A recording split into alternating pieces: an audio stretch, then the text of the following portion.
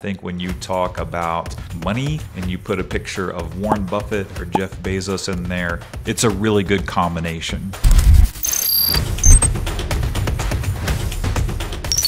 In this episode of The Edge, we are going to be taking a look at an ad campaign driving traffic to a real estate offer. But the interesting thing is in how they are doing it. Hey guys, Jason here with adskills.com. And without further ado, let's take a look at the ad that I stumbled upon. I've been going to the Firefox browser start page for ad inspiration lately. And here's the ad I found. So there's a picture of Jeff Bezos, and the headline says, Believe it or not, you can invest in real estate with as little as $100. Well, I don't know what Bezos has to do with that. But hey, it catches people's attention. I think when you talk about money and you put a picture of Warren Buffett or Jeff Bezos in there, it's a really good combination. So let's go ahead and take a look at the landing page. All right, so right off the bat, I see that they've brought a pop up here. So the interesting thing here is the URL is MoneyWise, and MoneyWise is a publisher, but here's a pop up for the company that they're actually sending traffic to, who I would assume is their client, their advertising client, Arrive. So the interesting thing I noticed about this is that the ad is by MoneyWise, but on behalf of Arrived Homes. So they brought a pop up here We'll get rid of that. So that's kind of cool, right? They're sending you to an advertorial, but they've done that huge pop up as another way to get the click. Okay, so here's where they're talking about Jeff Bezos. Thanks to Jeff Bezos, you can now make money from real estate for just $100. So they've got an advertorial here, which looks like just a really nice blog post giving the pitch for Arrived. It looks like an online real estate investing platform. Down here, we've got another call to action for Arrived, right? So if you just take a look here at these hyperlinks, they're giving you a lot of chances to click through and then down here. And again, they hit us with that huge pop up at the beginning. So they're really trying to make sure that you click on over to arrived. let's click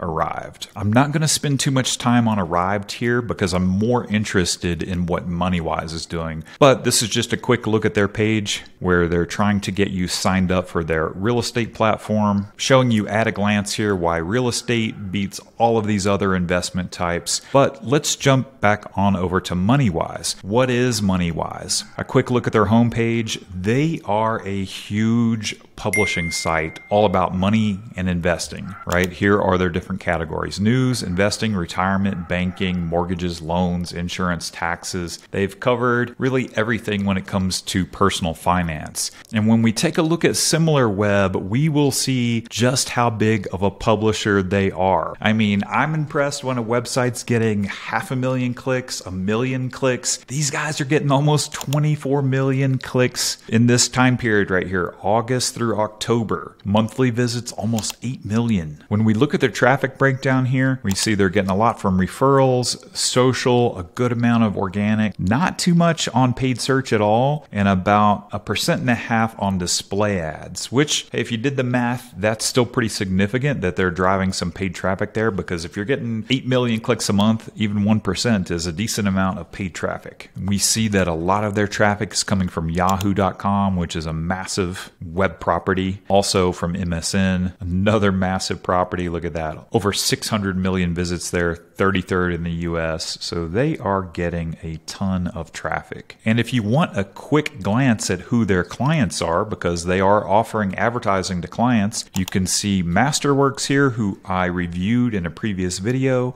Arrived, which is the client that they're sending traffic to in this ad flow. Several of these others may be clients as well. We take a look at their social traffic. I mean, almost all of it's coming through Facebook, very little on these other channels.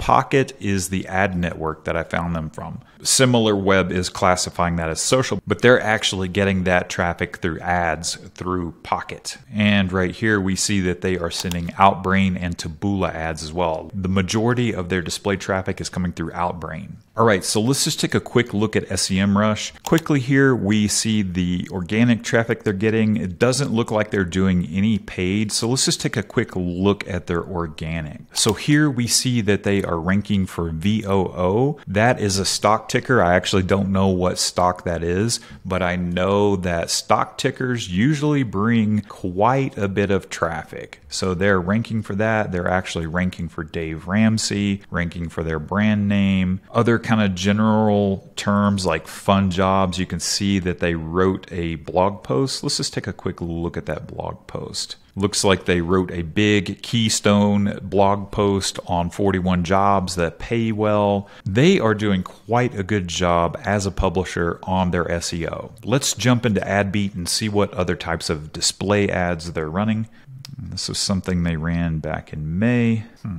All right. So this is something that I covered in a previous video. This Capital One shopping campaign is a, seems to be a pretty big campaign where the call to action is to add it to your browser and Capital One seems to be partnering with a lot of websites that are talking about money. And hey, Capital One, um, I imagine that is a really nice client to have in your portfolio.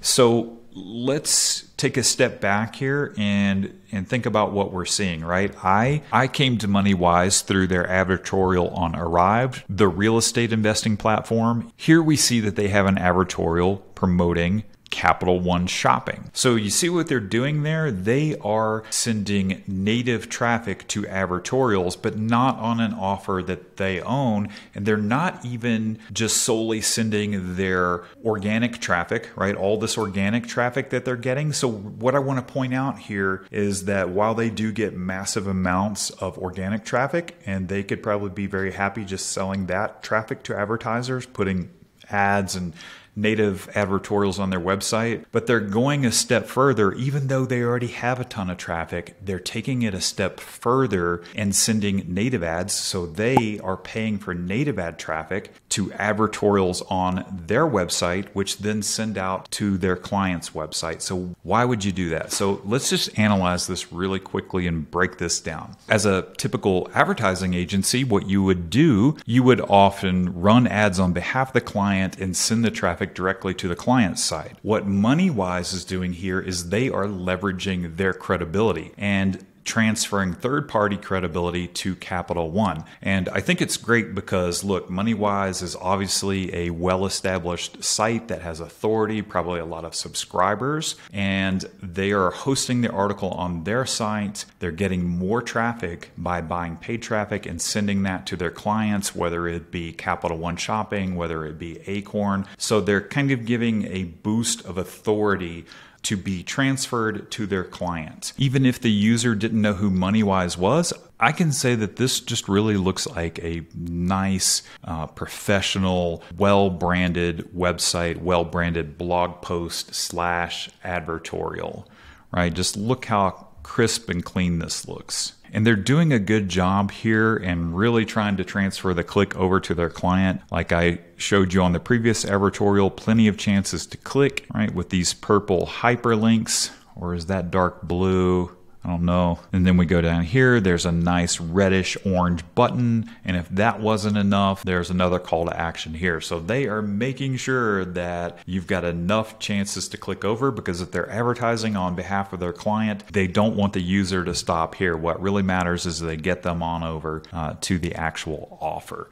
So that is my main takeaway here how publishers can leverage paid traffic for even more traffic but if you're a small shop, uh, a solopreneur, you have a small agency, you might want to think about doing the reverse to end up with the same result and starting your own publisher sites to send traffic to your clients. All right, so let's make one last stop here and take a look at their YouTube channel. Here's their YouTube channel, and what is pretty eye opening here is that even though they're getting 8 million visitors a month to their website, their YouTube channel looks fairly new, right? They've only got about 3,300 subscribers. I can say that the thumbnails here look very professional. They've got Suze Orman here. Oh, they've actually got Grant Cardone. That's really cool. But their YouTube channel looks pretty new. Hey, you got to start somewhere, right? So that can show you that if you are a solopreneur just getting started out, or you're a huge brand like this and you're starting a YouTube channel, you have to start from zero and build your way up. So I think it's cool that they're adding to their media properties here with YouTube